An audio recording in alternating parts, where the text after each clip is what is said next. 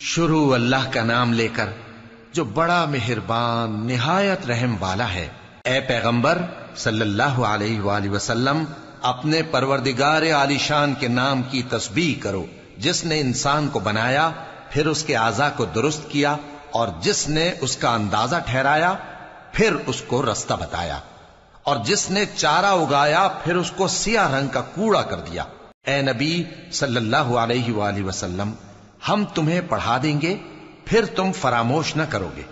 मगर जो अल्लाह चाहे, वो खुली बात को भी जानता है और छुपी को भी। और हम तुमको आसान तरीके की तौफीक देंगे, सो जहाँ तक नसीहत के नाफे होने की उम्मीद हो, नसीहत करते रहो।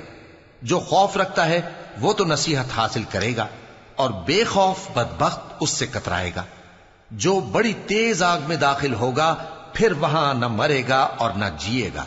बेशक वो मुराद को पहुँच गया जो पाक हुआ और अपने परवरदिगार का नाम लेता रहा और नमाज़ पढ़ता रहा। बात यह है कि तुम लोग तो दुनिया की ज़िंदगी को तरजीह देते हो।